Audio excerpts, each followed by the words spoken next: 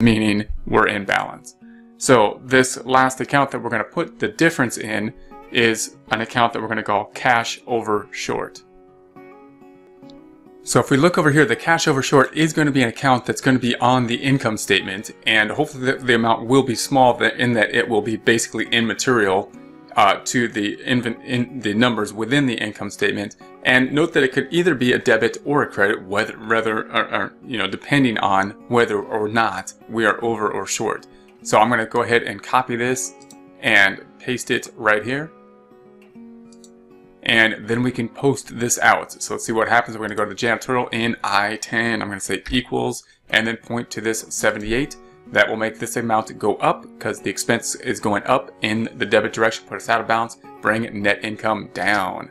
Then we're going to go to the miscellaneous expense. So miscellaneous expense in cell I-14 equals, we're going to point to this 6368. That will make this expense go up and it will make net income go down. We're then going to go to the postage. Postage is here in I-13, say equals, and we're going to point to this 4350. That's going to make this amount go up in the direct debit direction and make net income go down. Then we're going to go to advertising. Advertising is in cell I-16. We're going to say equal and point to that 5715. That's going to make this go up in the debit direction and bring net income down. Then we're going to go to the cash. We're going to go to cash up here. There's something in it. Therefore, I'm going to double click on it, go to the end of it, and say plus, and then point to this 230.83. This is a credit. This is a debit. They're the opposite things. Therefore, cash is going to go down, which makes sense because we wrote a check. We are now off by the 1150, which is the over or short. So we're going to go to the over or short in cell I-17 equals and point to this 1150 and once we hit enter, this will go up, bring net income down, put us back. Actually, it's going to bring net income up, and that's going to put us back in balance. So note that this over short can go either way. It's not an expense account. It's basically an account that could have an income effect, have an increase in net income, or a decrease rather based on whether or not we are over or short. Also note that the petty cash remains at the 250, which is correct now because we have now replenished the petty cash with this uh, amount, with this check, bringing the total back up to where we want to basically keep it at at any given time at that 250. Then of course we're going to spend the petty cash throughout the next time period and we will record the journal entry to bring it back to 250 at, in this case, uh, well in this case on 516 we want to increase this petty cash balance. So instead of just having 250 in there at any given time, we would like to get the max balance up to 450. So on uh, 516, we're going to do that by saying 516.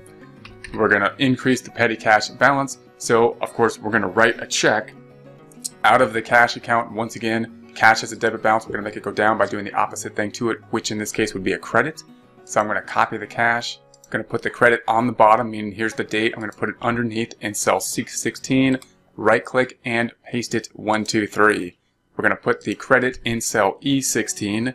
I'm going to say it's a negative and put the amount that we will need, which will be the 200 to bring this up to 450. So I'm going to hit control enter and that will put the brackets around it because now we're on the cell rather than in the cell. Then we're going to need a debit of the same amount what's, what's going to be the debit account?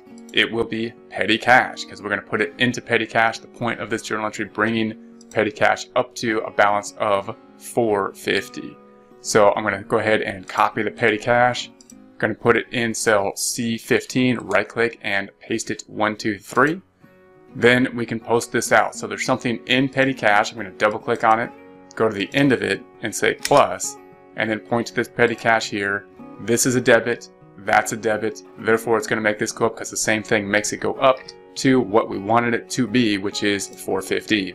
Then I'm going to post the cash. There's something in it. Going to double click on it. Go to the end of it. Say plus. Then go down to the 200 and enter. And that will bring the cash balance down, put us back in balance. Now we're going to go to the next time that on uh, 530 where we take a look at the expenditures within the petty cash. We're going to count the receipts that are in there and replenish the petty cash fund up to our new balance of 450. So obviously time has passed, uh, people have spent money out of the petty cash, they put the receipts in there, and we need to now replenish it as of 531, the end of the month. So we have now paid postage expenses.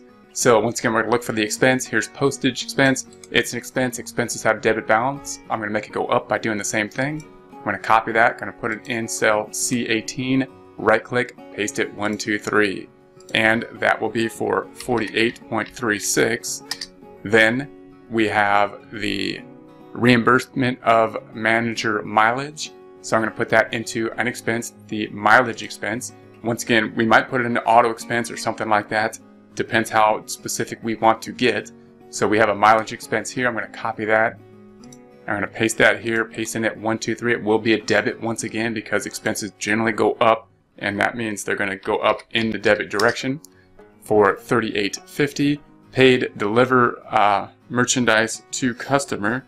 So we deliver the merchandise to the customer. So we have a delivery expense down here. So we can put it into the delivery expense. Once again it's an expense. It's going to go up by uh, doing the same thing to it which in this case which is another debit. Expenses go up with debits. So we're going to say the 39.75 here so we now have remaining petty cash after we counted to be 288.39. So we picked up the cash in the lockbox, we counted it, comes out to be 288.39. We want to bring it back up to this 450. So how can we bring it back up to the 450? We're going to have to write a check for 450 minus what's in there, 288.39 means we need to write a check for 161.61. That of course will be coming out of the cash. Cash is going to have to go down so therefore cash is a debit balance. We're going to make it go down by doing the opposite thing to it. So I'm going to copy that.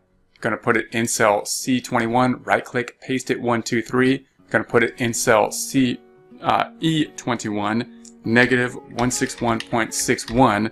Control enter puts us back on the cell and there we have our amount.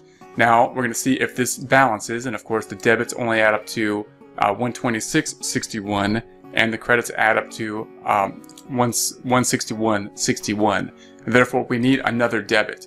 So I'm going to do that week by putting our plug formula, which is the negative SUM of the debits, this plus this plus this, minus this, and enter. And that'll give us the 35 so that the debits now equal the credits. And I'm going to put that into cash over and short and paste it one, two, three, and you'll note that I did put a debit on the bottom. Now, to be completely proper, we want all the debits on top.